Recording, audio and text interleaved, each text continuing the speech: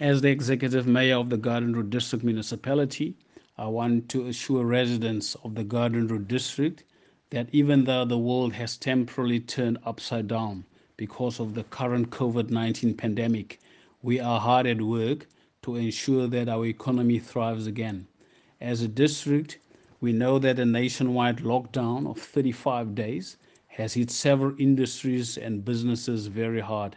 Hence, we want to reassure businesses in our district that we are working closely with other key collaborative partners to provide clarity and credible information to them.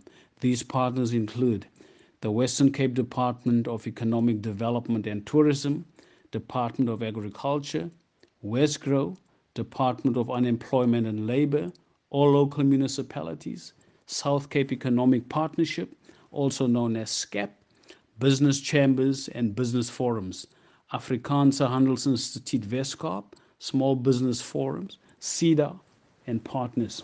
We have established a Garden Route COVID 19 e- economy cluster, which aims to assist businesses to navigate through opportunities for business assistance, funding, payment reliefs, etc.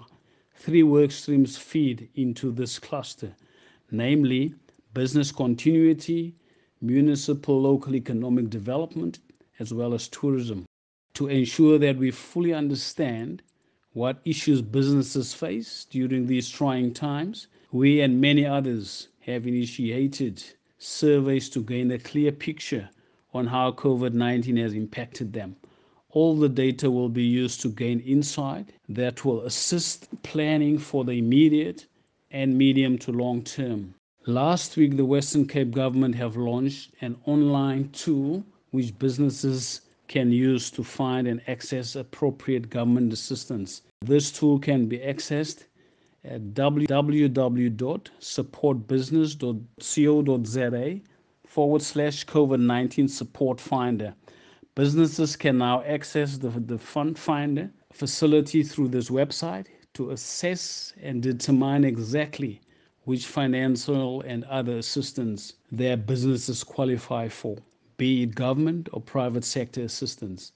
We are hopeful that these efforts, structures, and processes will help to ensure the continuity and resilience of business operations during these turbulent economic times and post the national lockdown period, and in doing so, also minimize the number of job losses resulting from this pandemic.